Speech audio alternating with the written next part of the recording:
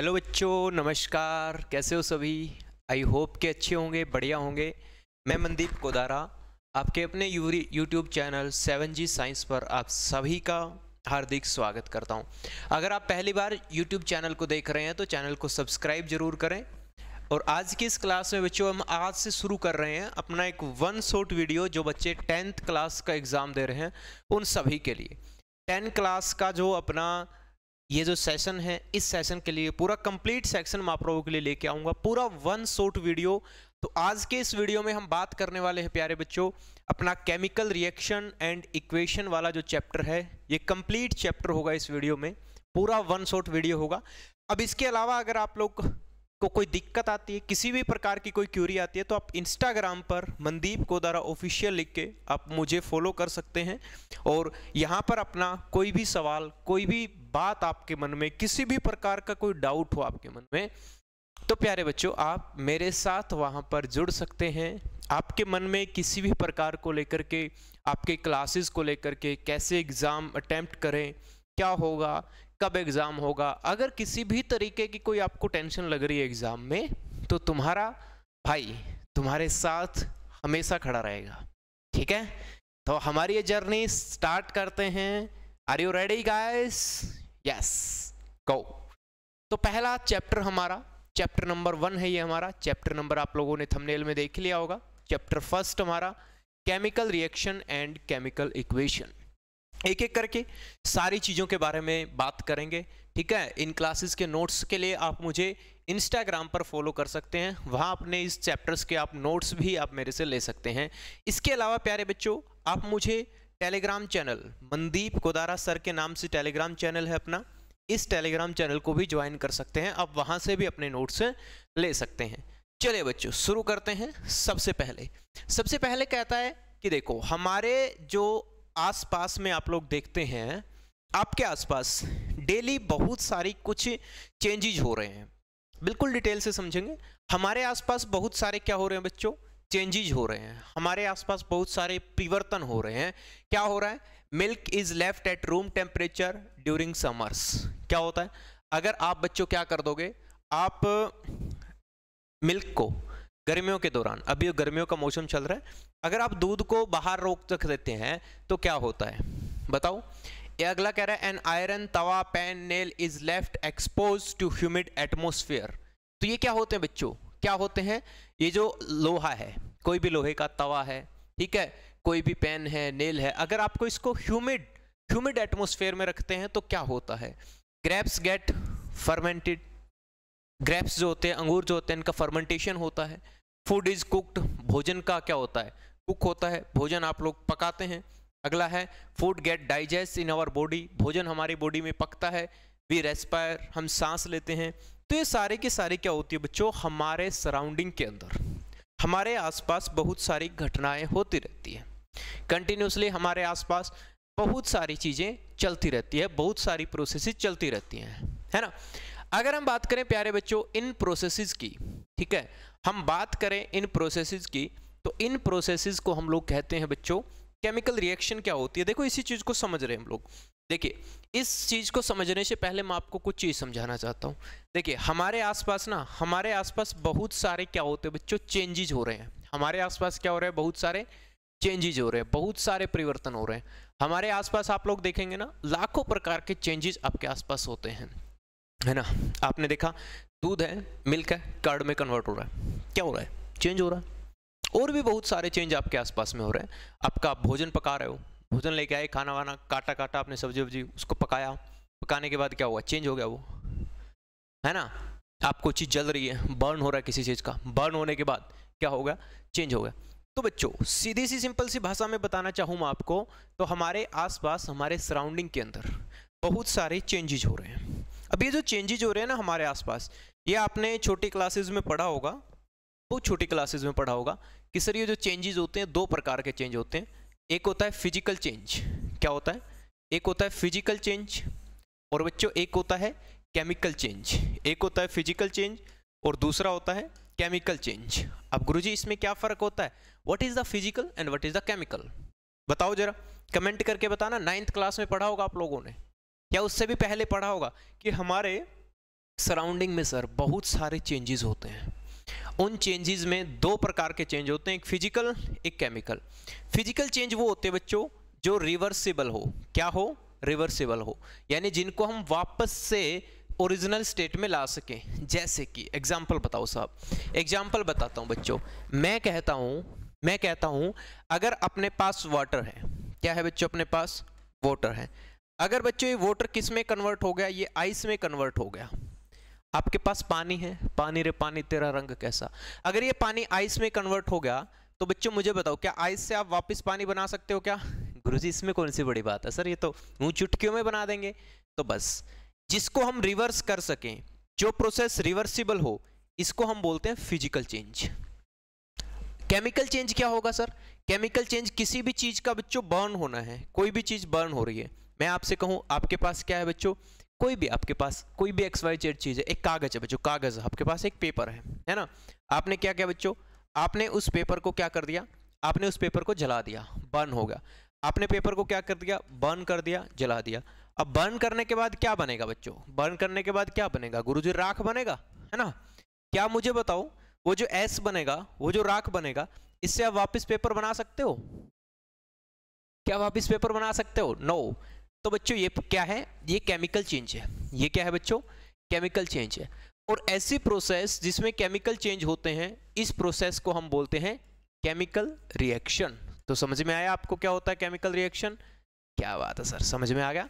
What is the chemical reaction तो chemical reaction होता है बच्चों, क्या होता है?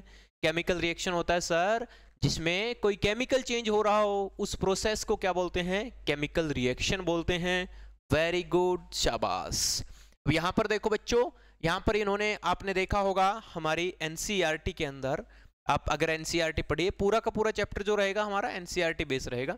एनसीईआरटी के अंदर आपने चीज़ देखी होगी साहब, देखो, ये क्या है, एक बर्नर ये बर्नर है। इस बर्नर में क्या कर रहा है बच्चों, ये क्या है यहाँ पर यहाँ पर है मैग्नीशियम रिबन ये मैग्नीशियम रिबन है, इसको बच्चों जलाया जाता है। जैसे ही इस बर्नर से इस मैग्नीशियम रिबन को जलाते हैं तो आप लोग देखेंगे यहाँ पर, है ना आप लोग थोड़ा सा जूम करके देखना अपने एनसीआरटी बुक के अंदर। यहाँ पर क्या हो रहा है बच्चों? यहाँ पर एक सफ़ेद रंग का क्या हो रहा है? पाउडर जमा हो रहा है। यहाँ पर क्या हो रहा है? मैग्नीशियम जो रबड़ होता है, ये सफ़ेद रंग के किसमें जमा हो रहा है? ये पाउडर में जमा हो रहा है बच्चों। किसमें जमा हो रहा है? ये क्या, ये अपना कोई क्या क्या लिख रखा है इसने? अच्छा ग्लास है ये। ठीक है। तो ये जो सफ़ेद रंग का है ना बच्चों, ये क्या है? ये है मैग्नीशियम ऑक्साइड क्या है बच्चों? मैग्नीशियम ऑक्साइड एम क्या है? मैग्नीशियम ऑक्साइड तो ये क्या कह रहा है? You must have observe the magnesium ribbon burns with dazzling white flame and change into a white powder क्या कह रहा है? हमने ऑब्ज़र्व किया, जब ये रिएक्शन किया तो हम लोगों ने ऑब्ज़र्व किया। क्या ऑब्ज़र्व किया बच्चों? ये कह रहा है वी ऑब्ज़र्व दैट किसमें कन्वर्ट हो रहा है? Magnesium ribbon burns with dazzling white flame it change into a white powder and this white powder is magnesium oxide it is form due to the reaction between magnesium and oxygen presents in the air देखो, समझ में आई आपको बात? ये क्या कह रहा है? ये कह रहा है बच्चों, ये कह रहा है, ये जो यहाँ पर अपना मैग्नीशियम रिबन था, क्या था? सर, ये हुआ कैसे? ये जो व्हाइट पाउडर बना, ये कैसे? कैसे बना ये? समझाओ हमें। अभी समझाते हैं बच्चे, चिंता मत करो, ठीक है? ये कैसे हुआ? देखो, इसके बारे में मैं अभी समझाता हूँ आपको। भाई हाउ कैसे हुआ बच्चों ये? ये क्या हुआ? हमारा जो मैग्नीशियम रिबन था। मैग्नीशियम रिबन ने क्या किया? Magnesium ribbon. ठीक? ये बच्चों, अपना क्या था? मैग्नीशियम। मैग्नीशियम? जो मैग्नीशियम रिबन था, ये इसने रिएक्शन किया। क्या किया इसने? रिएक्शन किया। किसके साथ रिएक्शन किया बच्चों? ऑक्सीजन के साथ। किसके साथ है? ऑक्सीजन के साथ रिएक्शन किया। और इसने क्या बना दिया बच्चों? इसने बना दिया जो व्हाइट कलर का जो पाउडर होता है इसका नाम क्या है? मैग्नीशियम ऑक्साइड बना दिया बच्चों। क्या बना दिया इसने? Magnesium oxide. तो इसे हम लोग कहते हैं केमिकल रिएक्शन। Magnesium oxide. अभी मैं आपको एक सिंपल तरीके से समझाने की कोशिश करूँगा। समझना बच्चों, एक बिल्कुल आसान तरीके से। क्या है? समझो। कि ये सर, ये मैग्नीशियम था। ठीक है सर। मैग्नीशियम रिबन था। मैग्नीशियम रिबन को हमने क्या कर दिया बच्चों? जला दिया। क्या कर दिया? बर्न कर दिया। इसको हमने जला दिया। और जलाने के लिए किसकी ज़रूरत होती है, बताओ जरा। जलाने के लिए किसकी ज़रूरत होती है? क्या कह रहे हो? गर्लफ्रेंड की ज़रूरत होती है, हैं? कि गर्लफ्रेंड बना लो, सर। है ना? एक अच्छी सी, सुंदर सी गर्लफ्रेंड बना लो, आसपास वाले लोग जल जाएँगे। अबे नहीं, जलाने के लिए किसकी ज़रूरत होती है बच्चों? जलाने के लिए ज़रूरत होती है गुरुजी, ऑक्सीजन की। किसकी ज़रूरत होती है? ऑक्सीजन की ज़रूरत होती है। तो बच्चों, जैसे ही मैग्नीशियम ने ऑक्सीजन के साथ रिएक्शन किया, इसका मतलब जैसे ही मैग्नीशियम जला जलने से क्या हुआ बच्चों? वो मैग्नीशियम ने ऑक्सीजन के साथ रिएक्शन किया। अब कोई भी धातु जब ऑक्सीजन के साथ अभिक्रिया करती है तो बच्चों वो बनाती है ऑक्साइड क्या बनाती है? ऑक्साइड बनाती है। तो ये क्या बन गया? ये बन गया मैग्नीशियम ऑक्साइड तो इसे हम लोग कहते हैं केमिकल रिएक्शन समझ में आया? तो आप क्या कहोगे? आप कहोगे, साहब, जब कोई दो या दो से ज़्यादा चीज़ें मिलकर के एक नई चीज़ बनाती है तो उसे हम लोग कहते हैं केमिकल रिएक्शन क्या कहते हैं प्यारे बच्चों? केमिकल रिएक्शन समझ में आया केमिकल रिएक्शन क्या होता है? जी गुरु जी क्या होता है? जब कोई दो चीज़ें आपस में मिलके क्या बनाए, एक नई चीज़ बनाए, उसे बोलते हैं केमिकल रिएक्शन और भी बहुत सारी चीज़ें बच्चों। मैंने कहा मैंने कहा आपके पास कार्बन है। क्या है बच्चों? कार्बन। कार्बन का मतलब कोई भी कार्बन का आपका पदार्थ मान लो कोयला है। अब कोयला जब जलता है बच्चों, कोयला जब जलता है, जलने का मतलब क्या होता है? वही सेम बात, जलने का मतलब होता है ऑक्सीजन के साथ रिएक्शन करना। तो कोयला जब ऑक्सीजन के साथ रिएक्शन करता है प्यारे बच्चों तो क्या बनता है बताओ? क्या बनता है? आप कह दोगे गुरुजी कार्बन डाइऑक्साइड बनता है। तो ये क्या है? ये भी वही हो रहा है। जब दो चीज़ें आपस में मिल रही है और एक नई चीज़ बना रही है। मतलब दो चीज़ें आपस में मिलके और एक नई चीज़ बना रहे हैं बच्चों, इसे हम कहते हैं केमिकल रिएक्शन अब केमिकल रिएक्शन के अंदर कौन कौन सी चीज़ें होती है? तो केमिकल रिएक्शन के अंदर पहली चीज़ तो होती है चेंज इन स्टेट क्या होती है? एक तो पदार्थ की किसमें चेंज होता है बच्चों? स्टेट में चेंज होता है। जैसे कि हम लोग यहाँ पर बात करें कार्बन क्या होता है बच्चों? सोलिड स्टेट में होता है है ना? और ये क्या होता है? ये गैसियस स्टेज में होता है। तो ये सॉलिड स्टेट है चेंज हो गया किसमें कार्बन डाइऑक्साइड किसमें होती है? गैसियस स्टेट में होती है। तो एक तो इसके अंदर क्या चेंज हो सकता है? स्टेट में चेंज हो सकता है। जिस तरह बात करें बच्चों अपन, कि हाइड्रोजन होता है। हाइड्रोजन और ऑक्सीजन मिलके क्या बनाते हैं? तो हाइड्रोजन और ऑक्सीजन मिलके क्या बनाते हैं बच्चों? हाइड्रोजन प्लस ऑक्सीजन ये मिलके क्या बनाते हैं? बताओ शाबाश। हाइड्रोजन प्लस ऑक्सीजन मिलके गुरुजी बनाते हैं वाटर पानी। तो इसको भी आप लोग देखोगे ना? क्या देखोगे सर कि हाइड्रोजन क्या है बच्चों? गैसीय स्टेज में है। किसमें है? गैसीय स्टेज में। ऑक्सीजन क्या है? ये भी गैसीय स्टेज में है। और इन्होंने मिलके क्या बना दिया? पानी। ये किसमें बच्चों? ये लिक्विड स्टेट में है। या कह दो बच्चों, ये किसमें है? एक्वस स्टेट में है। ठीक? तो अभी देखो, स्टेट में चेंज हो रहा है। दूसरा कह रहा है, चेंज इन कलर। दूसरा क्या हो रहा है बच्चों इसके अंदर? कलर में भी चेंज हो सकता है। कलर भी चेंज हो सकता है। यहाँ पर हो रहा था बच्चों हमारे इस रिएक्शन के अंदर। ये जो था मैग्नीशियम ये किसमें कन्वर्ट हो रहा था? ये वाइट पाउडर में कन्वर्ट हो रहा था। बोलो हाँ। किसी चीज़ को जलाते हो तो चीज़ पेपर को जलाते हो। पेपर व्हाइट कलर का होता है, जलाने के बाद राख ब्लैक कलर की हो जाती है है ना? दूसरा कह रहा है evolution of a gas gas का क्या होता है बच्चों? इवोल्यूशन होता है, किसी भी रिएक्शन के दौरान कह रहा है, ज़रूरी नहीं जलाने की ही बात करें। कोई और भी रिएक्शन हो सकती है, जलाना ही रिएक्शन नहीं होता। रिएक्शन का मतलब क्या होता है? केमिकल रिएक्शन का मतलब ये होता है बच्चों, कि एक स्टेट से, एक स्टेट से दूसरी स्टेट में बदलना। मतलब किसी भी चीज़ का एक चीज़ से दूसरी नई चीज़ बनना, है ना? रिएक्शन का सीधा सीधा मतलब ये होता है, प्यारे बच्चों, कोई न्यू सब्सटेंस बनना। बस, क्या मतलब होता है? कि नया सब्सटेंस बनाना। किसी भी सब्सटेंस का यूज़ करके कोई नया सब्सटेंस बनाना ही मतलब होता है केमिकल रिएक्शन समझ में आई? सीधी सीधी भाषा में बात करें तो यही होता है। दूसरा कह रहा है चेंज इन टेम्परेचर बिल्कुल सर टेम्परेचर में चेंज होता है। आपने देखा होगा कि चूना चूना देखा है आप लोगों ने? चूना। चूना देखा है, सर? बिल्कुल क्विक क्लाइम चूने के अंदर जब पानी डालते हो तो अचानक से उसमें गर्मी पैदा होती है हीट चूहे, चूने के अंदर जब पानी डालते हो तो उसमें क्या होता है? हीट पैदा होती है, भाप निकलती है जाम से। तो उसका क्या होगा? टेम्परेचर बढ़ गया। तो टेम्परेचर में भी चेंज होता है। कई बार देखा होगा आप लोगों ने, किसी की नाइट्रोजन के साथ रिएक्शन करवाते हैं, एकदम से ठंडा हो जाता है। एकदम से धाम से ठंडा हो जाता है। तो क्या हो रहा है? तो जब भी रिएक्शन होती है तो रिएक्शन होने के दौरान, प्यारे बच्चों, इन सारी चीज़ों के अंदर क्या होता है? चेंज होता है। क्या होता है? इन सारी चीज़ों में चेंज होता है। चलो, आगे बढ़ते हैं। आगे हम लोगों ने बढ़ा कि what is the chemical equation next जो हमारा पॉइंट है बच्चों, वो है हमारा कि what is the chemical equation chemical equation क्या है? अभी तो हमने जो बात की बच्चों, वो केमिकल रिएक्शन की की। कि केमिकल रिएक्शन क्या होता है? अब बात आती है what is the chemical equation chemical equation क्या होता है बच्चों? तो देखो, ये कह रहा है chemical equation can be made more concise and useful if we use chemical formula instead of words. A chemical equation represents a chemical reaction. समझ में आया? क्या कह रहा है सर? पढ़ दो बेटा, आराम से पढ़ना, ध्यान से पढ़ना। ये कह रहा है केमिकल इक्वेशन जो होता है ना बच्चों ये एक कंसीज एंड यूजफुल मेथड होता है किसी भी केमिकल फार्मूले को लिखने का। अच्छा जी। दूसरा कह रहा है a chemical equation represents a chemical reaction क्या कह रहा है? देखो, समझ में। मैं कह रहा हूँ, जो भी अपन वर्ड्स में लिखते हैं ना, थोड़ी देर पहले जब हम वर्ड्स में लिख रहे थे, हमने लिखा जी मैग्नीशियम जो है। क्या लिखा हमने? हमने लिखा कि मैग्नीशियम जो है, ये मैग्नीशियम ऑक्सीजन के साथ रिएक्शन करता है।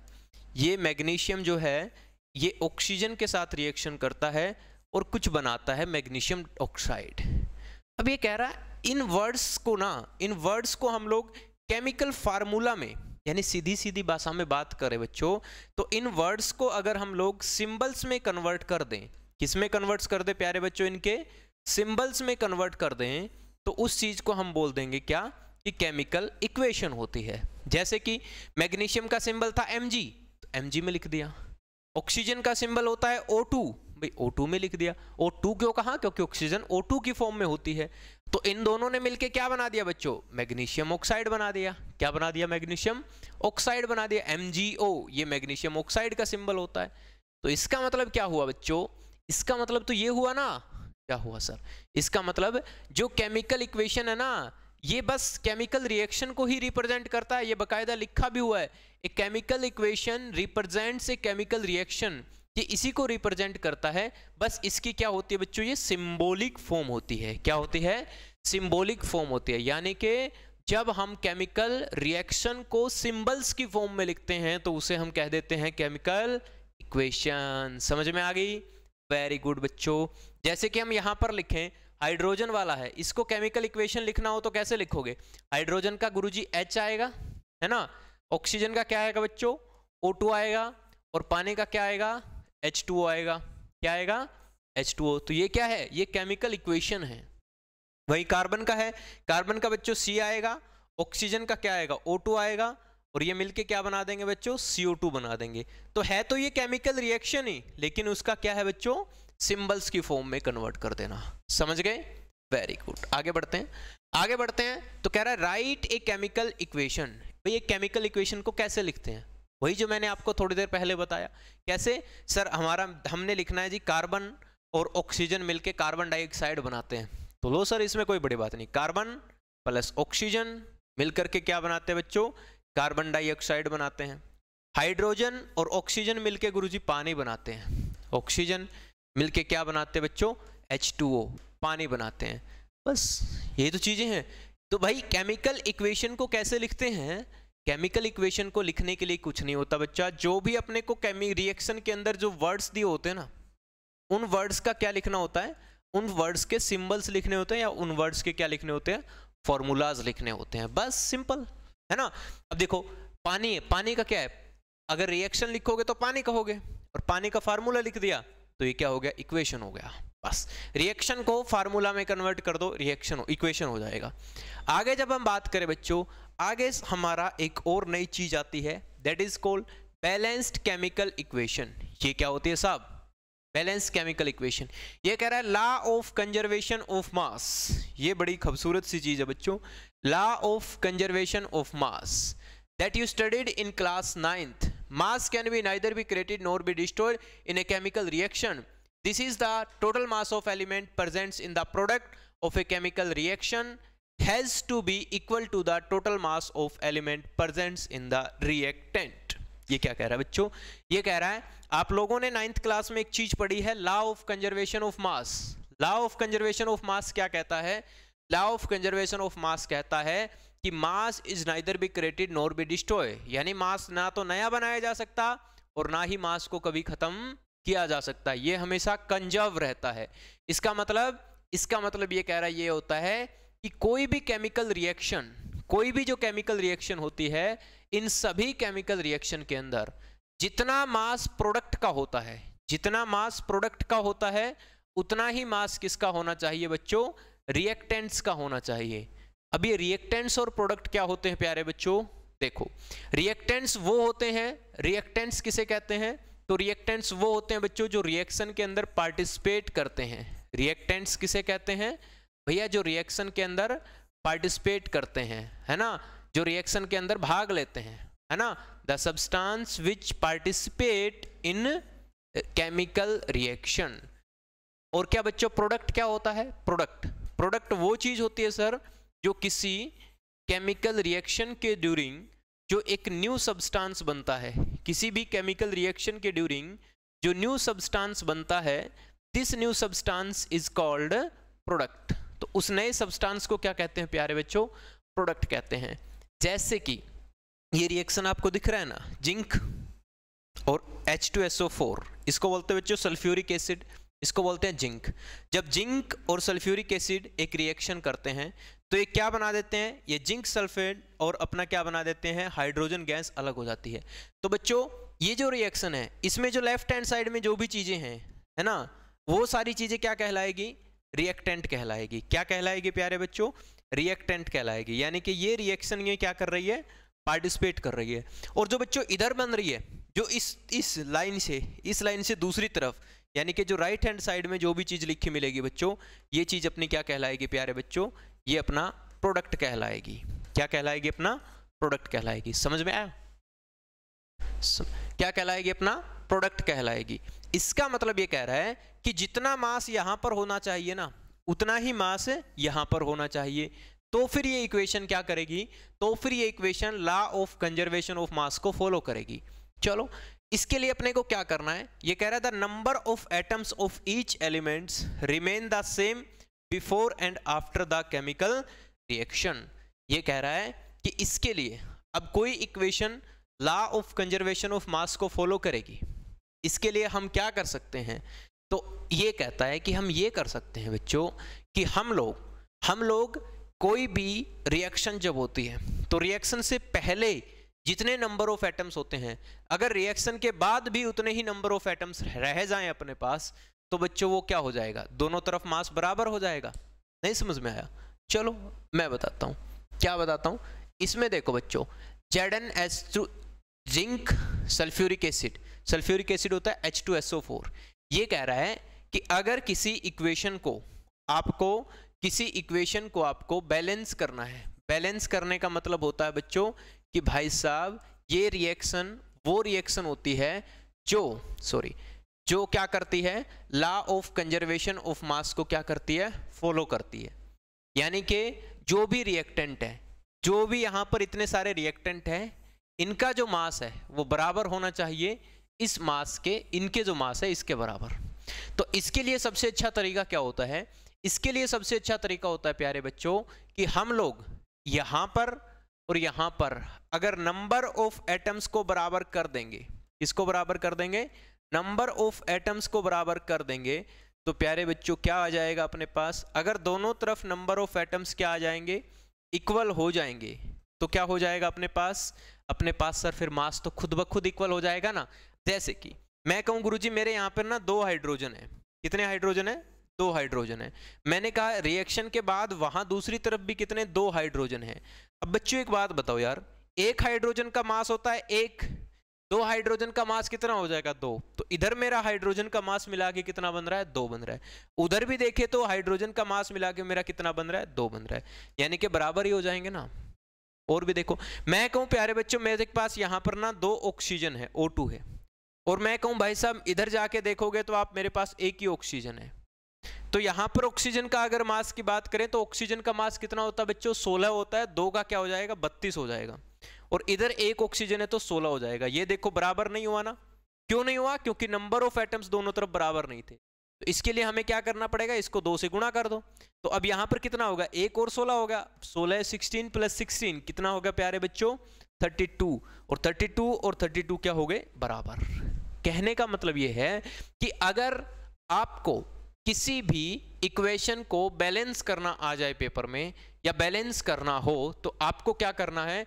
आपको बच्चे बोथ साइड किसी भी इक्वेशन के दोनों तरफ़ आपको नंबर ऑफ़ एटम्स यानी कि परमाणुओं की संख्या को क्या कर देना है? बराबर कर देना है। देखो, इस इक्वेशन में देख लेते हैं सर आप, है ना? देखो देखो, इसके अंदर इधर देख लेते हैं, ऐसे लिखते हैं, देखो इक्वेशन को बैलेंस कैसे करते हैं, तरीका बताता हूँ। आपको क्या लिखना है? सबसे पहले एलिमेंट्स लिख लेना है कौन कौन से यूज़ हो रहे हैं इसमें। तो कौन कौन से बच्चों, जिंक है, हमने जिंक लिख लिया। हाइड्रोजन है, हमने हाइड्रोजन लिख लिया। सल्फ़र है, हमने सल्फ़र लिख लिया। ऑक्सीजन है, ऑक्सीजन लिख दिया। ठीक बात? उसके बाद क्या करना है? उसके बाद हमने को देख क्या लिखना है बच्चों? हमने ही लिख दिया कि number of atoms in left hand side left hand side में जितने एटम्स के नंबर थे ना, वो लिख दिए। यानी जिंक की बात करें तो लेफ़्ट हैंड साइड में कितना जिंक था बच्चों? एक था तो हमने एक लिख दिया। हाइड्रोजन की बात करें तो दो थे, हमने दो लिख दिए। सल्फ़र की बात करें, एक था, हमने एक लिख दिया। ऑक्सीजन की बात करें, चार थे, हमने चार लिख दिए। लिख दिए। अब दूसरी तरफ़ भी क्या करना है? इन्हीं के नंबर। जिंक की बात करें, कितना है? एक है, लिख दिया। हाइड्रोजन की बात करें, कितने हैं? दो हैं, लिख दिए। उसके बाद सल्फ़र की बात करें, कितने हैं? एक है, लिख दिया। उसके बाद ऑक्सीजन की बात करें, कितने हैं? चार हैं, लिख क्या मुझे बताओ, ये बराबर नहीं है? चार, एक, दो, एक। दोनों तरफ़ बराबर है ना? तो इसका मतलब ये इक्वेशन कैसी है? ये बैलेंस केमिकल इक्वेशन है। समझ में आया ही बात? बोलो हाँ। चपास आगे बच्चों, आगे आता टाइप्स ऑफ़ केमिकल रिएक्शन इससे पहले बच्चों, मैं आपसे एक चीज़ पूछना चाहता हूँ। क्या? मैं आपको एक इक्वेशन दे रहा हूँ। आप मुझे कमेंट बॉक्स में या मेरे इंस्टाग्राम पर उसका आंसर ज़रूर ज़रूर दीजिएगा। मैंने कहा, बच्चों, मेरे पास आयरन है, लोहा है। अगर मैं इस लोहे को हवा में खुला छोड़ देता हूँ या फिर पानी के साथ भाप में इसको खुला छोड़ देता हूँ, भाप क्या होता है बच्चों? एच टू है ना? अगर मैं इसको खुला छोड़ देता हूँ तो ये क्या बन जाता है बच्चों? ये बन जाता है F E three O four F three O four plus में क्या बन जाता है बच्चों? पानी सॉरी हाइड्रोजन गैस रिलीज़ हो जाती है। हाइड्रोजन गैस क्या हो जाती है? रिलीज़ हो जाती है। ठीक, ये जो लोहा होता है, ये सॉलिड स्टेट में होता है। ये जो पानी है, ये बच्चों गैसीय स्टेज में है, भाप वेपर है। ये जो बनता है, ये सॉलिड बनता है। और ये जो बनती है बच्चों, ये गैस बनती है। अब मुझे बताना है कि ये बैलेंस है कि नहीं है। अगर बैलेंस नहीं है तो इसको कैसे बैलेंस करोगे? इसको बैलेंस करके और मुझे बताना। बैलेंस करने के लिए क्या करना है? कुछ नहीं करना, अपने को लेफ़्ट हैंड साइड में, ये लेफ़्ट हैंड साइड अपनी तो लेफ़्ट हैंड साइड में बच्चों, जितने भी नंबर ऑफ़ एटम्स हैं, लेफ़्ट हैंड साइड में जितने भी अपने क्या है बच्चों, जितने भी अपने एटम्स हैं, इन एटम्स को बराबर करना है। राइट हैंड साइड में जितने भी क्या है बच्चों अपने पास एटम्स हैं। राइट हैंड साइड में जितने भी एटम्स है ना, इन एटम्स को क्या करना है? बराबर करना है। तो बराबर करने के लिए क्या करेंगे? वही तरीका आपको अपनाना है, जो तरीका मैंने आपको बताया था। क्या करना है? देखो, इधर अपना क्या है? फेरस एफ़ ई और क्या है बच्चों अपना? हाइड्रोजन हाइड्रोजन और क्या है बच्चों? ऑक्सीजन ऑक्सीजन नंबर लिख लो इनके। कितने हैं फेरस एक है सर कितने हैं हाइड्रोजन दो है सर कितने हैं ऑक्सीजन एक है सर कर लिया? इधर देखो कितने हैं फेरस तीन है, सर। तीन है। लिख दो, कोई दिक्कत नहीं है। उसके बाद हाइड्रोजन कितने हैं? दो है, सर। दो। ऑक्सीजन कितने हैं? चार है, सर। चार। अब देखो बच्चा, अब तो सर गड़बड़ हो गया। क्या गड़बड़ हुआ? अब तो ये बैलेंस नहीं है ना। अब तो सर ये एक है, उधर तीन है। ये दो है, चलो, ये तो बैलेंस है। ये बीच वाला बैलेंस है, लेकिन ये नीचे वाला भी नहीं है, ऊपर वाला भी नहीं है। तो इनको बैलेंस करना पड़ेगा। अब बैलेंस करने के लिए क्या करें, सर? सोचो आप। ये तीन है और इधर भी तीन बनाना है तो इसको तीन से मल्टीप्लाई कर दोगे। थ्री से मल्टीप्लाई कर दोगे, कितना बन जाएगा? थ्री तो इसको भी बच्चों इधर से आके हम लोगों को क्या करना है? थ्री से मल्टीप्लाई करना है। पहला स्टेप ये हो गया। बराबर हो गया? सर ये दो है, ये दो है, कोई दिक्कत नहीं। नीचे वाले में ये चार है, एक है और इधर चार है। तो इधर मैं चार से अगर मल्टीप्लाई कर देता हूँ तो बराबर माहौल। और इधर जब चार से मल्टीप्लाई करोगे ना, भैया ये चीज़ ध्यान से रखना है। कभी भी आपको ये नहीं करना है चार से मल्टीप्लाई करे। ऑक्सीजन का? यहाँ चार लिख दो। नहीं नहीं नहीं नहीं, ऐसा कतई नहीं करना। कहीं ऐसा करो कि आप लोग, भाई, चार लिख दिए गुरु जी बराबर हो गए हो गए, बराबर, हो गए अबे, गधो, ऐसे नहीं होता। कैसे होता है? भैया, ये फिर कुछ माहौल ही बदल जाएगा इसका, है ना? तो फिर हमेशा जब भी मल्टीप्लाई करते हैं, आगे करते हैं। चार से कर दिया। अरे भैया, ये तो गड़बड़ हुआ। कैसे हुआ? चार से अगर हम यहाँ पे किया तो हमको फिर चार से तो फिर इसको भी हाइड्रोजन को भी हो गया तो अपने आप ही हो गया बाई चांस ही हो गया। तो इसको भी करना पड़ेगा। जब इसको किया तो बच्चों, ये आठ आ गया। अरे बाबा, इधर दो ही है। इसको फिर आठ बनाओ, चार से इसको करो। देखते हैं, कोई गड़बड़ तो नहीं है? हाइड्रोजन को चार से कर लो कर लो चार से। अब देखो, ऊपर कितने हैं? तीन। वाह। आगे कितने हैं? आठ। उससे आगे कितने हैं? बच्चों चार। समझ में आ गया? ऐसे करना है बैलेंस कर दोगे ना? बोलो हाँ। यस गोट इट आगे बढ़ते हैं। अब बच्चों, ये तो बातें थी हमारी केमिकल रिएक्शन और केमिकल इक्वेशन की। समझ में आया सभी को? बोलो हाँ यस सर बहुत अच्छे, शानदार, ज़बरदस्त। अब बच्चों, बात करते हैं आपके एक नए और बेहतरीन कॉन्सेप्ट की, जिसको हम कहते हैं टाइप्स ऑफ़ केमिकल रिएक्शन कि सर, जो हमारे केमिकल रिएक्शन होते हैं, उनके टाइप्स क्या क्या होते हैं? कितने टाइप की केमिकल रिएक्शन होती है? तो बच्चों, सबसे पहला जो रिएक्शन का टाइप आ रहा है हमारे सामने, वो आ रहा है कम्बिनेशन रिएक्शन कौन सा रिएक्शन आ रहा है बच्चों? कम्बिनेशन रिएक्शन अब ये कम्बिनेशन रिएक्शन क्या होता है? एक बार इसकी डेफिनेशन पढ़ लेते हैं, उसके बाद आप समझते हैं इसको क्या होता है। ये कह रहा है such a reaction in which a single product is form from two और more than reactants is known as combination reaction इसका मतलब क्या हुआ बच्चों? इसका मतलब ये हुआ, ये कह रहा है कि जिस रिएक्शन में एक सिंगल प्रोडक्ट इज़ फॉर्म दिख रहा है ना आपको? सिंगल प्रोडक्ट इज़ फॉर्म भाई एक सिंगल प्रोडक्ट बनता है। ठीक है, ये देखो रिएक्शन है। ये है चूना। बच्चों क्विक लाइम इसको बोलते हैं चूना। कैल्शियम ऑक्साइड इसका नाम होता है, ध्यान रखना। क्या नाम होता है? वेरी गुड ये चूना है। चूने को बच्चे जब पानी से मिलाते हैं ना, पानी से मिलाते हैं, ये पानी है बच्चों। एल लिखा है, इसका मतलब लिक्विड स्टेट में है। जब इसमें पानी डालते हैं ना बच्चों, पानी डालते हैं तो क्या बनता है? ये बनता है, कैल्शियम हाइड्रोक्साइड इसको बोलते हैं स्लेक्ट लाइम चूना पानी बुझा हुआ चूना बोलते हैं इसको हिंदी वाले। ये एक्वस सॉल्यूशन में होता है बच्चों, ये किसमें होता है? एक्वस सॉल्यूशन में, जलीय घोल होता है, ये विलियन। अब ये है कम्बिनेशन अब कम्बिनेशन का मतलब समझे हो आप लोग? कम्बिनेशन मतलब कंबाइन होना, यार जुड़ना। जब दो चीज़ें आपस में जुड़ती है ना तो कॉम्बिनेशन होता है। समझे हो? कम्बिनेशन का मतलब जानते हो? रिएक्शन को छोड़ो बाहर में गया रिएक्शन कम्बिनेशन क्या होता है? तूने कभी किसी के साथ कॉम्बिनेशन नहीं किया? अबे सर, क्या है? बताएँगे नहीं। तो दैट इज़ द कम्बिनेशन बाबा। वही तो कम्बिनेशन है है ना? क्या है?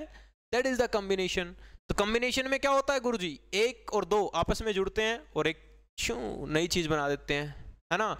उसे बोलते हैं कम्बिनेशन तो ऐसा ही हुआ बच्चों कैल्शियम ऑक्साइड चूना और पानी, दोनों मिले और दोनों ने मिलके ये बना दिया, सर, है ना? अब ऐसा नहीं है कि भाई साहब, तुम कहो कि जी मम्मियाँ मिले, पापा मिले, दोनों मिलके बच्चा बन गया कम्बिनेशन रिएक्शन है। अब नहीं, वो कम्बिनेशन रिएक्शन नहीं है। कभी सोचो जी, ये भी तो कम्बिनेशन रिएक्शन है, सर, दो लोग जुड़े और एक नया बच्चा बन गया। अबे नहीं बाबा, नहीं, ये कम्बिनेशन रिएक्शन नहीं है है ना? ये अलग चीज़ है पढ़ेंगे हम, जिसको रिप्रोडक्शन बोलते हैं बच्चों, है ना? क्या बात करते हो? चलो सर। उसके बाद कम्बिनेशन रिएक्शन में समझ में आया? और भी बहुत सारे हैं। और एग्ज़ाम्पल बताऊँ आपको। बता दो सर जी। चलो बता ही देते हैं। बच्चों, पानी बनता है ना, पानी। पानी रे, पानी तेरा रंग कैसा? वो जो पानी बनता है, उसमें भी तो क्या हो रहा है? उसमें भी तो हाइड्रोजन और जो ऑक्सीजन होता है बच्चों, उनके बीच में क्या होता है? कम्बिनेशन ही होता है। और क्या बनता है? एक सिंगल प्रोडक्ट बनता है। यही तो ये कह रहा है। भाई, जब दो चीज़ें मिलके एक सिंगल प्रोडक्ट बना रही दो से ज़्यादा भी मिल सकती है। ऐसा नहीं कि दो ही मिलना है, दो से ज़्यादा ही मिल सकती है। तो ये भी तो क्या है? ये भी तो क्या है बच्चों? कॉम्बिनेशन रिएक्शन है। अब एक और बताया था मैंने आपको जब कार्बन ऑक्सीजन के साथ मिलता है तो क्या बनाता है बच्चों? कार्बन डाइऑक्साइड बनाता है। ये भी तो क्या है? ये भी एक कॉम्बिनेशन रिएक्शन है। सर, जब दो भी चीज़ें मिलकर के एक नई चीज़ बनाए ना, दो या दो से ज़्यादा चीज़ें मिलकर एक नया सब्सटेंस बनाए, उसको बोलते हैं कॉम्बिनेशन रिएक्शन समझ गए? What is the combination reaction बोलो। और मुझे ये बताओ, क्या ये जो इक्वेशन लिखा है मैंने, ये बैलेंस है? नहीं है तो इसको कमेंट बॉक्स में बैलेंस करके बताओ। ठीक है? चलो आई थिंक कि सारे बच्चे कॉम्बिनेशन रिएक्शन समझ गए होंगे। वेरी गुड आगे बढ़ते हैं बच्चों। आगे आता है एक्जोथर्मिक रिएक्शन वाओ बहुत अच्छी रिएक्शन है। कौन सी है? एक्जोथर्मिक रिएक्शन ये कह रहा है reaction in which heat is released along with the formation of product is called exothermic reaction समझे आया? ये कह रहा है कि ये वो रिएक्शन होती है जिसमें जिसमें जो प्रोडक्ट बनता है ना प्रोडक्ट के साथ साथ हीट भी फॉर्म होती है। यानी हीट निकलती है बच्चों गर्मी निकलती है। जब गुरुजी दो चीज़ें आपस में जुड़ती है ना तो उसमें से हीट निकलती है भाई साहब। क्या बात करें सच में होता है ऐसा? है? यस yes, बिल्कुल होता है। सोचो ज़रा। जब दो चीज़ें आपस में मिलती है तो क्या होता है उनके बीच में हीट निकलती है। तो वो जिस रिएक्शन के अंदर अब वो कोई भी रिएक्शन हो जिस रिएक्शन के अंदर सीधी सीधी भाषा में बात करें बच्चों तो ऐसी रिएक्शन जिसके अंदर हीट प्रोड्यूस होती है, ऐसी रिएक्शन को बोलते हैं बच्चों एक्जोथर्मिक रिएक्शन बोलो हाँ। क्या होता है? हीट प्रोड्यूस होती है, उसे बोलते हैं एक्जोथर्मिक रिएक्शन वाह जी वाह। वही बात करते हैं, इधर देखो, बहुत सारी चीज़ें हैं। चलो बच्चों, देखो। ये देखो, ये कह रहा है आ जा और बड़ा करो, और बड़ा करो। ये कह रहा है बच्चों सी एच फोर क्या होता है? मिथेन गैस होती है। क्या होती है? Methane gas. ये जब ऑक्सीजन के साथ रिएक्शन करता है ऑक्सीजन के साथ रिएक्शन करने का मतलब क्या होता है? बच्चों किसी को जलाना, याद रखो वो बातें, बताया था मैंने, बिल्कुल गुरुजी। तो क्या बनता है? एक तो कार्बन डाइऑक्साइड गैस बनती है, दूसरा क्या होता है बच्चों? पानी बनता है, और तीसरी क्या प्रोड्यूस होती है उसमें से? हीट प्रोड्यूस होती है। होता है कि नहीं होता? जब आप किसी चीज़ को जलाओगे तो उसमें से गर्मी निकलेगी कि नहीं निकलेगी? बिल्कुल। तो ये कैसी रिएक्शन है बच्चों? ये एक्जोथर्मिक रिएक्शन है। और देखो, ये कह रहा है, अब सोलिड स्टेट में जब कार्बन होता है, ये ऑक्सीजन के साथ रिएक्शन करता है। थोड़ी देर पहले बताया था ना मैंने आपको कि जब कोयला जलता है बर्न होता है तो वो ऑक्सीजन के साथ रिएक्शन करता है। और ऑक्सीजन के साथ रिएक्शन करके क्या बनाता है बच्चों? कार्बन डाइऑक्साइड बनाता है। और जब कोयला जलेगा और तो बच्चों, जब कोई चीज़ जलेगी तो उसमें से हीट तो उत्पन्न होगी होगी, उष्मा तो उत्पन्न होगी होगी। तो ये भी क्या है? हीट प्रोड्यूस कर रही है। इसका मतलब ये भी क्या है बच्चों? एक्सोथर्मिक रिएक्शन है। उसके बाद उसके बाद ये कह रहा है, जब हाइड्रोजन ऑक्सीजन के साथ रिएक्शन करता है, यानी जब हाइड्रोजन ऑक्सीजन के साथ, जब हाइड्रोजन जलता है तो भी क्या बनता है बच्चों? पानी बनता है और हीट प्रोड्यूस होती है। ठीक बात? तो ऐसे रिएक्शन जिसमें हीट प्रोड्यूस होती है। ऐसी रिएक्शन जिसमें हीट प्रोड्यूस होती है सीधी सीधी भाषा में हम बात करें तो the reaction in which heat is produced is called exothermic reaction अभी थोड़ी देर पहले हमने बात की थी चूने वाली तो चूने में भी तो क्या होता है? चूने में जब आप पानी डालते हो तो उसमें भी तो क्या होती है? हीट पैदा होती है। तो ये भी कैसी रिएक्शन है? ये भी एक्जोथर्मिक रिएक्शन है। अब कई बच्चों के मन में आ रहा होगा, सर गुरुजी ने तो हमें इसको केमिक कम्बिनेशन रिएक्शन बताया था और अब कह रहे हैं एक्जोथर्मिक है। तो बेटा, एक रिएक्शन एक से ज़्यादा टाइप की भी हो सकती है। शाबाश, बहुत अच्छे। चलो सर तो एक्जोथर्मिक का पता चला आपको कि what is the exothermic reaction क्या होती है बच्चों एक्जोथर्मिक जिसमें से हीट प्रोड्यूस होती है। The reaction in which heat is produced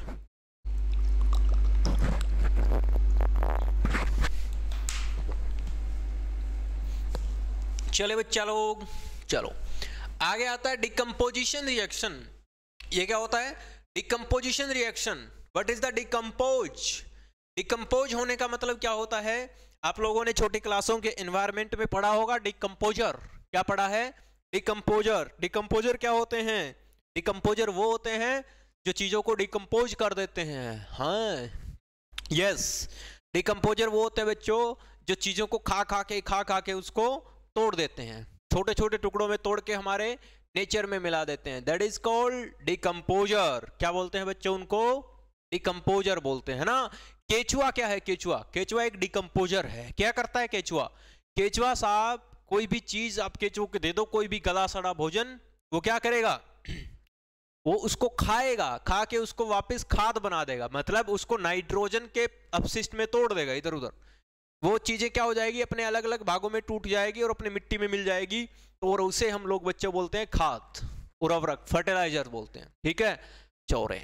okay biogas बोलते हैं उसको। सॉरी बायो क्या बोलते हैं उसको? हाँ बायोमास तो वो क्या है बच्चों? डिकम्पोजर होते हैं। अब वो करते क्या है? वो बच्चे चीज़ों को क्या करते हैं? तोड़ते हैं। क्या करते हैं? तोड़ते हैं। जब किसी भी चीज़ का टूटना है ना, टूटना। टूटना क्या कहलाता है प्यारे बच्चों? किसी भी चीज़ का टूटना ब्रेक डाउन होना क्या कहलाता है? डिकम्पोजिशन कहलाता है। समझ में आ गई? चलो, इसकी डेफिनेशन पढ़ लें। आज पढ़ लो। ये लो बच्चों, ये भी यही कह रहा है। मैं कुछ अलग बता रहा हूँ। ये कह रहा है in this reaction you can observe that a single reactants break down to give simpler product this is called decomposition reaction ये कह रहा है, एक ऐसी रिएक्शन जिसमें एक सिंगल रिएक्टेंट मतलब एक रिएक्टेंट अपने सिंपलर पार्ट के अंदर टूट जाता है। क्या हो जाता है? ब्रेक डाउन हो जाता है, टूट जाता है। जैसे कि ये बच्चों फेरस सल्फेट है। क्या है? Ferrous sulphate F E S O four बच्चों, जब इसको गर्म किया जाता है, ये देखो यहाँ पे हीट लिखा हुआ है, यानी कि इसको हीट दी जाती है, इसको गर्म किया जाता है। तो गर्म करने के बाद बच्चों, ये किसमें बदलता है? ये फेरिक ऑक्साइड सल्फ़र डाइऑक्साइड और सल्फ़र ट्राई ऑक्साइड ये तीन पार्ट में क्या हो जाता है बच्चों? टूट जाता है, टूट के और ये बिखर जाता है। इसको हम बोलते हैं डिकम्पोजिशन रिएक्शन क्या बोलते हैं बच्चों इसको? डिकम्पोजिशन रिएक्शन और भी इसके एग्ज़ाम्पल है बच्चों डिकम्पोजिशन के बहुत सारे एग्ज़ाम्पल है। देखो, ये है लाइमस्टोन लाइमस्टोन आपने सुना होगा? मार्बल इसे कहते हैं बच्चों। मार्बल संगमरमर का जो पत्थर होता है ना, सुनो ना संगमरमर की मीनारे। ये वही संगमरमर है। यानी ताजमहल जिससे बना होता है, वो इसी से बना होता है। लाइमस्टोन इसको चूना पत्थर कहते हैं। चूना पत्थर को जब गर्म किया जाता है, लाइमस्टोन का फार्मूला क्या होता है? वैसे इसका नाम होता है chemical name calcium carbonate CO3 जिसके पीछे लगा होता है उसको कार्बोनेट बोलते हैं। क्या बच्चों? Calcium carbonate. जब कैल्शियम कार्बोनेट को गर्म किया जाता है तो इससे क्या बनता है? इससे बनता है क्विक लाइम, यानी कि लाइम बनता है, चूना बनता है। कैल्शियम ऑक्साइड सी ये क्या होता है? चूना होता है। प्लस में कौन सी गैस रिलीज़ होती है? कार्बन डाइऑक्साइड गैस रिलीज़ होती है। ठीक है? तो इसमें देखो क्या है? इसमें लाइमस्टोन, चूने का जो पत्थर है, इसको गर्म किया। गर्म करने से चूना अलग हो गया, कार्बन डाइऑक्साइड गैस अलग हो गई। तो सिंपल फॉर्म में टूट गया चूने का पत्थर। तो ये क्या है? ब्रेक डाउन और भी एग्ज़ाम्पल है। ये देखो sir, silver chloride AGCL silver chloride AG होता है सिल्वर सीएल मतलब क्लोराइड। जब इसको सूरज की रोशनी में रखते हैं बच्चों तो क्या होता है? एजी अलग हो जाता है और क्लोरीन गैस क्या हो जाती है? उसमें से रिमूव होके उड़ जाती है। तो यानी जब कोई एक चीज़ टूट जाए, बिखर जाए अलग अलग पार्ट में तो उसे हम बोलते हैं डीकम्पोजिशन रिएक्शन समझ गए? दैट्स इट आगे बढ़ते हैं। आगे कह रहा है अच्छा और भी है? अरे वाह यार। ये कह रहा है, देखो लेड नाइट्रेट लेड नाइट्रेट क्या है? Two P B NO three twice ये होता है लेड नाइट्रेट जब इसको गर्म करते हैं तो ये किसमें बदल जाता है बच्चों? लेड ऑक्साइड में बदल जाता है, दूसरा ये बदल जाता है नाइट्रोजन ऑक्साइड के अंदर, और तीसरा बच्चों ऑक्सीजन गैस यहाँ से क्या हो जाती है? रिलीज़ हो जाती है। इसके बाद जो सिल्वर ब्रोमाइड होता है, जो फोटोग्राफी वगैरह में यूज़ किया जाता है बच्चों फोटोग्राफी में यूज़ होता है सिल्वर ब्रोमाइड का। ध्यान रखना किसमें यूज़ होता है बच्चों? फोटोग्राफी में। पेपर में पूछ लेगा एक नंबर में कि फोटोग्राफी में किसका यूज़ होता है? तो सिल्वर ब्रोमाइड का यूज़ होता है फोटोग्राफी के अंदर। तो सिल्वर ब्रोमाइड को जब सनलाइट में रखते हो तो सिल्वर बच्चों अलग हो जाते हैं, ब्रोमीन अलग हो जाता है, गैसियस फॉर्म में अलग हो जाती है, गैस बन के उड़ जाती है।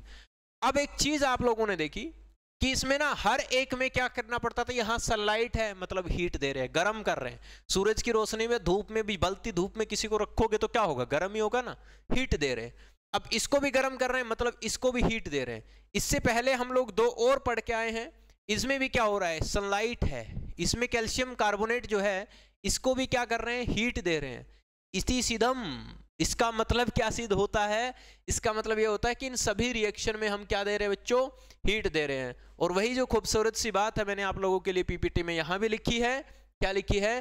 तो बच्चों लिखो the reaction in which energy is absorb are known as endothermic reaction ठीक है? थोड़ी देर पहले हम लोगों ने एक्जोथर्मिक रिएक्शन के बारे में बात की थी।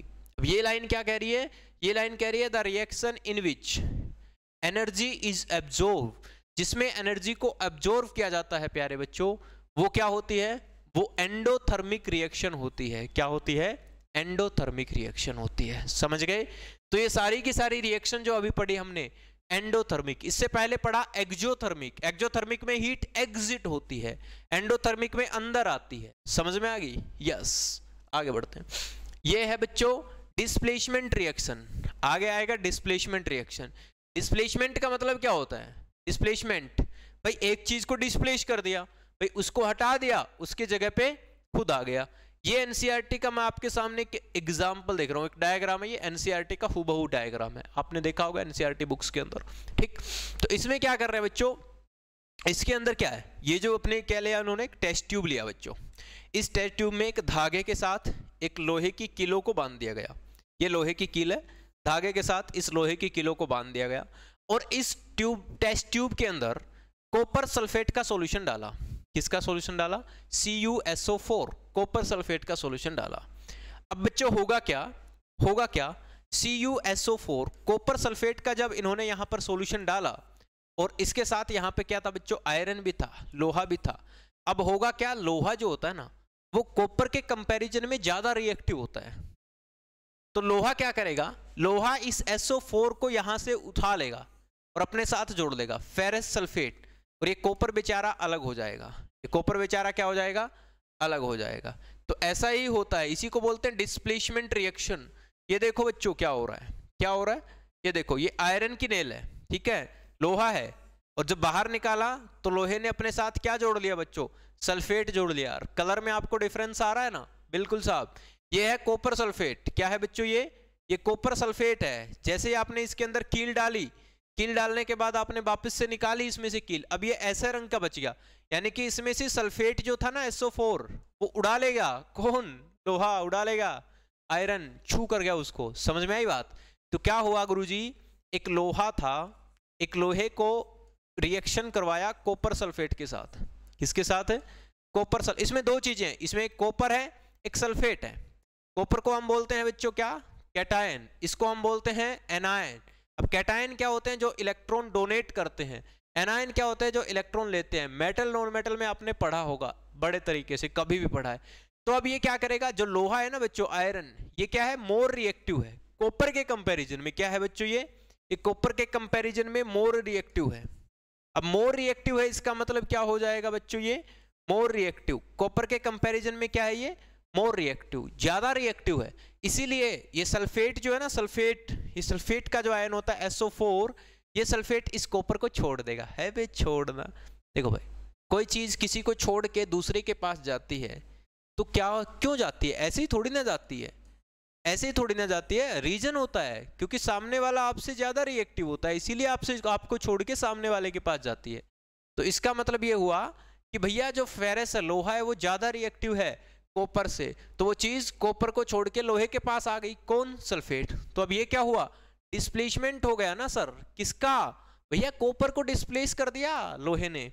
भाई साहब, देखो, आप भी करते हो, आप डेली लाइफ में डिस्प्लेसमेंट रिएक्शन होती है। आप कभी कभी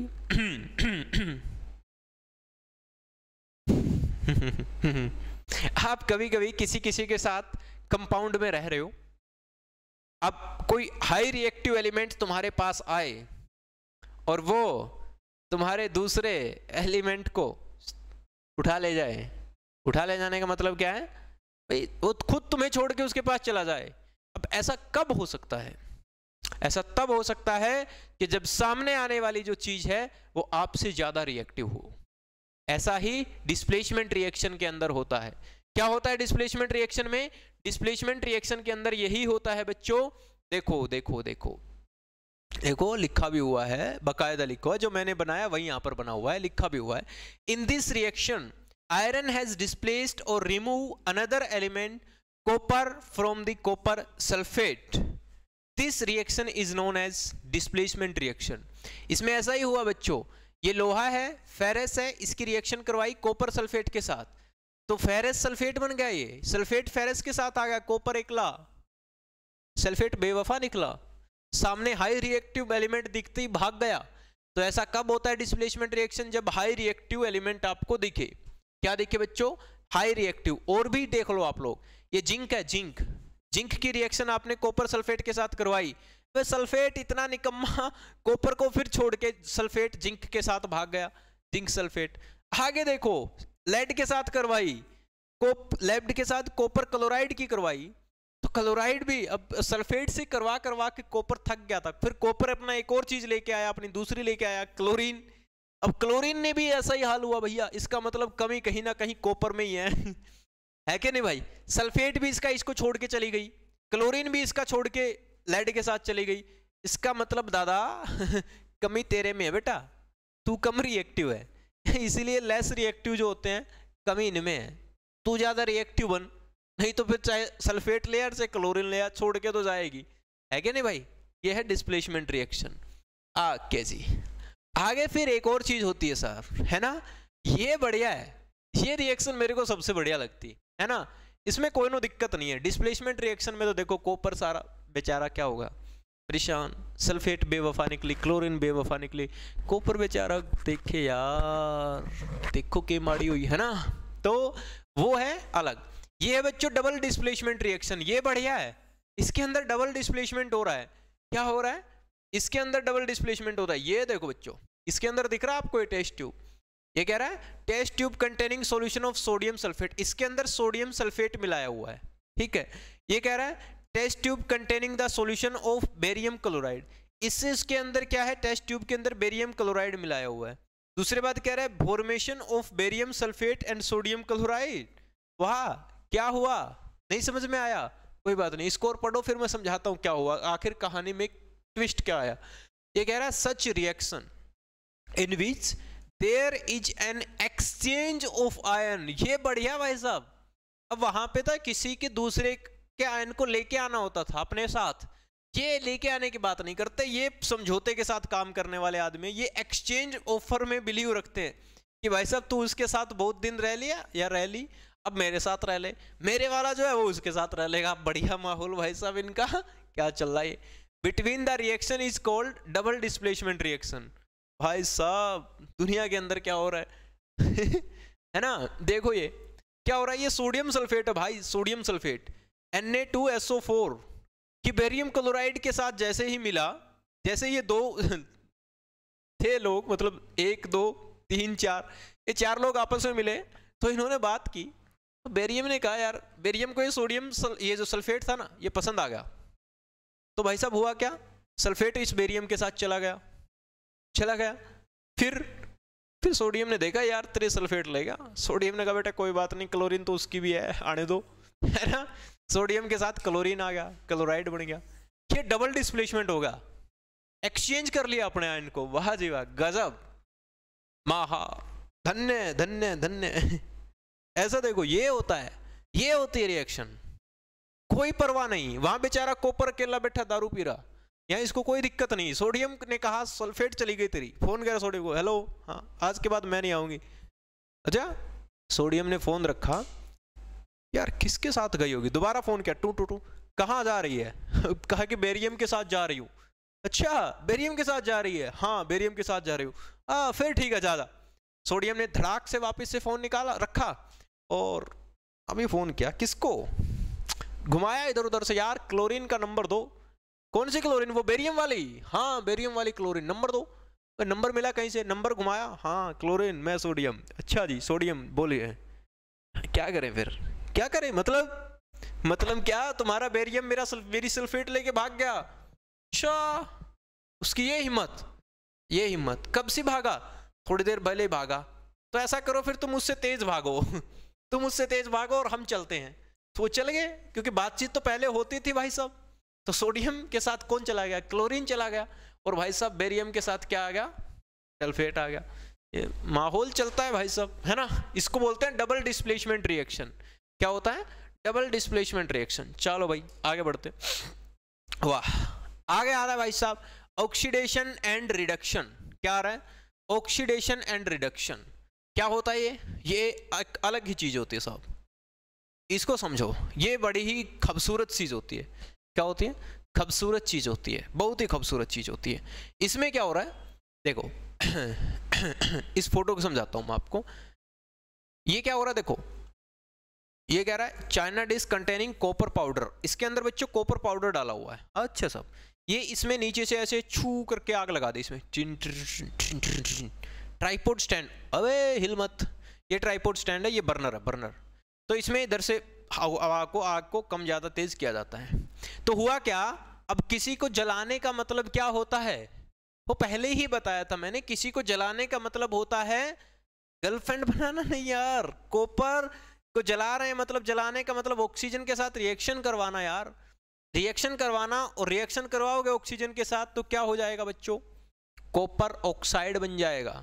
तो ये बन गया कॉपर ऑक्साइड बन गया तो बन गया फिर हम क्या करें? अब हम क्या करें? नहीं, हम इसके अंदर हो गया ऑक्सीडेशन क्या ये क्या हुआ?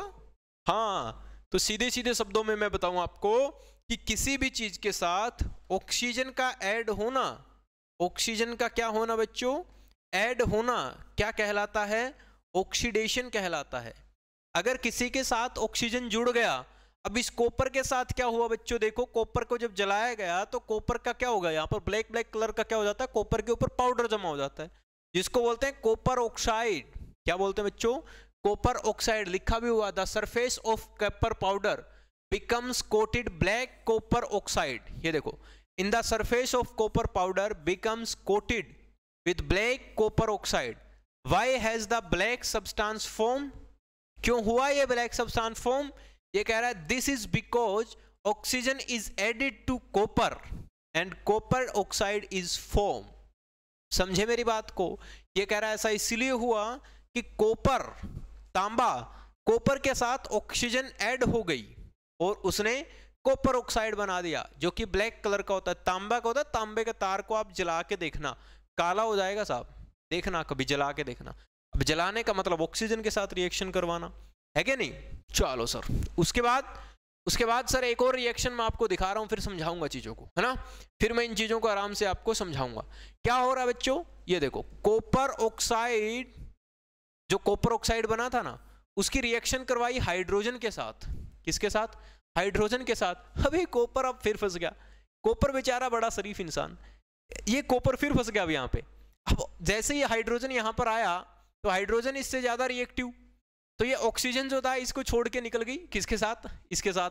हाइड्रोजन के साथ। कॉपर बेचारा फिर अकेला रह गया। कॉपर के साथ बड़ी मारी होती है। है ना? अब ये रिएक्शन अभी यहाँ पे दो रिएक्शन हो रही है। ठीक है? एक में क्या हो रहा है? ध्यान से सुनना। बड़े अभी कंफ्यूज करते हैं इस रिएक्शन में। कंफ्यूज करने की कोई बात नहीं। एक में क्या हो रहा है? कॉपर के साथ ऑक्सीजन जुड़ रही है और कॉपर ऑक्साइड बन रहा है। दूसरे में क्या हो रहा है बच्चों?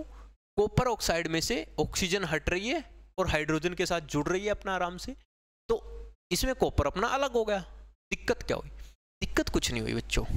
ऐसे रिएक्शन जिसके अंदर ऑक्सीजन ऐड होता है, उसे हम बोलते हैं ऑक्सीडेशन रिएक्शन बस, यही चीज़ है।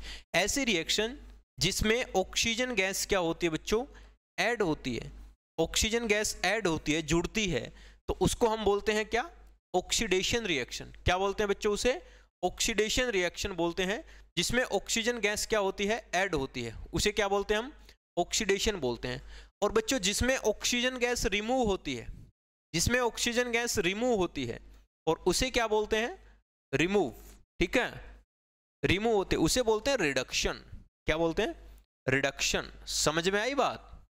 आ गई सर तो इसका मतलब ये रिएक्शन क्या हो रही है? रिडक्शन हो रहा है इसके अंदर। क्या हो रहा है? रिडक्शन भाई कॉपर ऑक्साइड का क्या हो रहा है? अब कॉपर ऑक्साइड का तो रिडक्शन ही हो रहा है ना, उसमें से ऑक्सीजन हट गई। समझ रहे हो मेरी बात को? समझ रहे हो? नहीं समझे? आगे बढ़ाते हैं। ये देखो, ये समझा रहा हूँ बच्चों, ये अब समझ में आएगा। अच्छा जी, ये हो रहा है, बिल्कुल हो रहा है। देखो बच्चों, क्या था? कॉपर ऑक्साइड था। ठीक है कॉपर ऑक्साइड था। अब जब कॉपर ऑक्साइड ने हाइड्रोजन के साथ रिएक्शन किया तो कॉपर अलग हो गया बच्चों, और पानी अलग हो गया।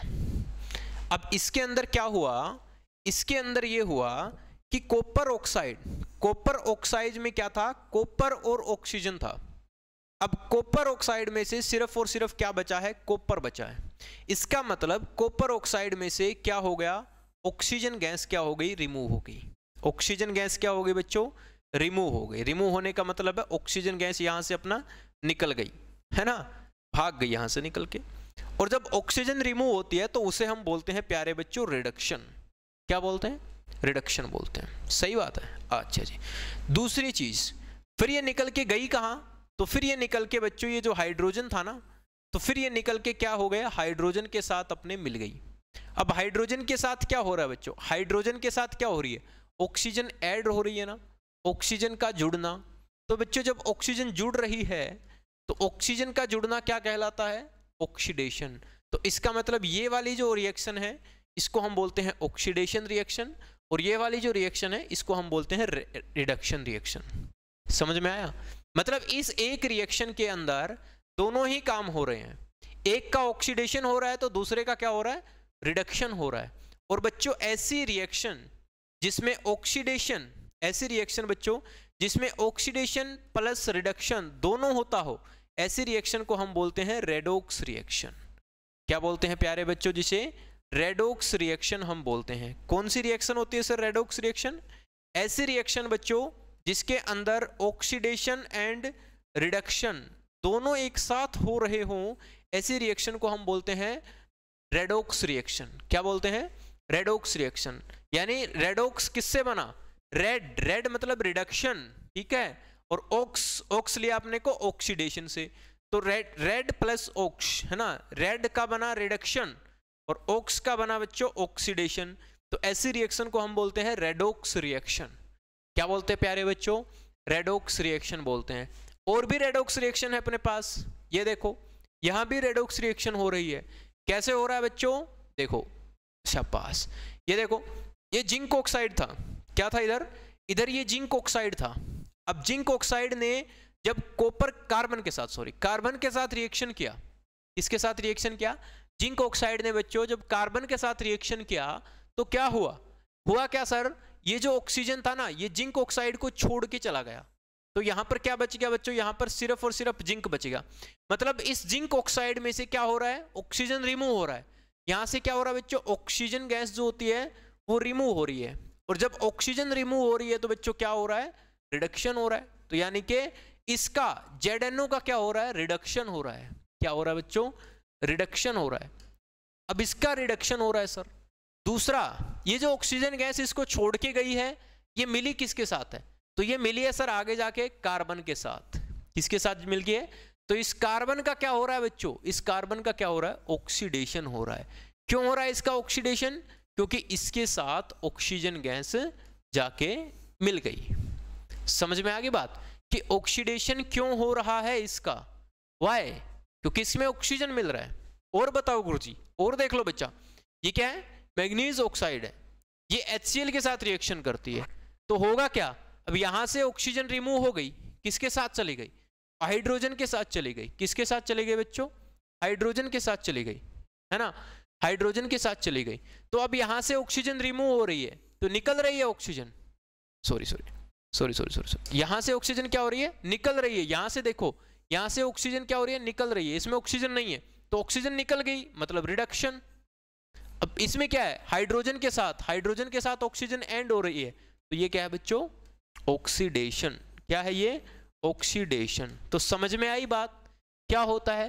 तो ऐसी रिएक्शन को हम बोलते हैं, प्यारे बच्चों ऑक्सीडेशन सॉरी रेडोक्स रिएक्शन क्या बोलते हैं? रेडोक्स रिएक्शन तो ये तो था हमारा टाइप पार्ट था, ठीक है? इसके अंदर कोरेजन और रेंसिडिटी आता है। कोरेजन का मतलब होता है बच्चों जंग लगना। जंग लगने का मतलब ये होता है बच्चों, ये ऑक्सीडेशन के ही एग्ज़ाम्पल होते हैं। कोरेजन का मतलब होता है, जब आप कोई लोहे की या कोई भी ऐसी धातु की चीज़ को आप बाहर नमी में छोड़ देते हैं तो उसको क्या लग जाता है? जंग लग जाता है। यानी वो ऑक्सीजन के साथ रिएक्शन कर देती है और ऑक्सीजन उनके साथ जुड़ जाती है तो वो ऑक्सीज क्या हो जाता है उनका? ऑक्सीडेशन हो जाता है और जिससे वो खराब हो जाती है। उनको बोलते हैं कोरेजन जंग लगना। रेंसिडिटी क्या होता है? खान, जो अपना कई बार भोजन होता है, जो खाना वाना होता है, जो खराब हो जाता है, सड़ जाता है, टमाटर वमाटर तो उसमें भी क्या होता है? ऑक्सीडेशन होता है उनका। ठीक है? तो वो ज़्यादा कोई इंपॉर्टेंट है नहीं नहीं तो फिर बाद में मैं उनको कभी छोटी वीडियो में करवा दूँगा। तो प्यारे बच्चों, ये था हमारा केमिकल रिएक्शन एंड इक्वेशन का कंप्लीट चैप्टर आई होप कि आपको समझ में आया होगा। अगर आपको समझ में आया है, प्यारे बच्चों तो आप चैनल सेवन जी साइंस अपना चैनल है, इस चैनल को सब्सक्राइब ज़रूर करें, ठीक है? और बच्चों, हमारा इंस्टाग्राम पर मनदीप गोदारा ऑफिशियल ये जो लिखोगे, आपको ये फ़ोटो मिलेगा, ये नाम मिलेगा मनदीप गोदारा तो वहाँ पर जाकर आपको फॉलो कर लेना है। कोई भी डाउट हो तो आप मुझे इंस्टाग्राम पर जा के भेज सकते हैं, आपकी हर समस्या का समाधान होगा। तो आज के साथ इसी खूबसूरत सी शाम के साथ आपसे विदा लेता हूँ। मिलता हूँ अगली क्लास में एक नए शॉर्ट वीडियो के साथ, पूरा वन शॉर्ट वीडियो के साथ, जिसमें आपको कंप्लीट चैप्टर ही मिलेगा। उम्मीद करता हूँ कि आपको अच्छी लगी होगी। लाइक कीजिएगा। अगर पहली बार चैनल पर आए हैं तो सब्सक्राइब भी कीजिएगा। जय हिंद, जय भारत।